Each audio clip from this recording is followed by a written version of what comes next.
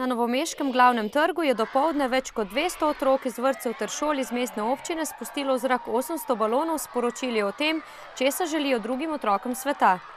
Želim si, da bi se ti izpolnile vse želje. Uh, želim ti veliko sreče, zdravja in veselja. Um, bodi življenje. Izkoristi življenje za dobre reči. Uh, da želim, da si vsi, uh, vsem ljudem izpolnijo želje. Jaz sem napisala, želim vam veliko smeha. Bodi vesel, da si še otrok. Napisal sem imejmo se radi. V Društvu prijateljev mladine Mojca bodo ta teden izvedli še dva dogodka poleg današnjega.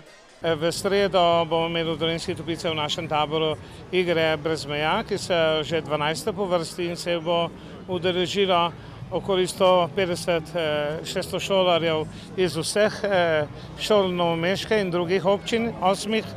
Soboto pa sledi izlet v neznano po Sloveniji, na katerega bo odšlo 120 otrok šestega razreda iz 16 osnovnih šol.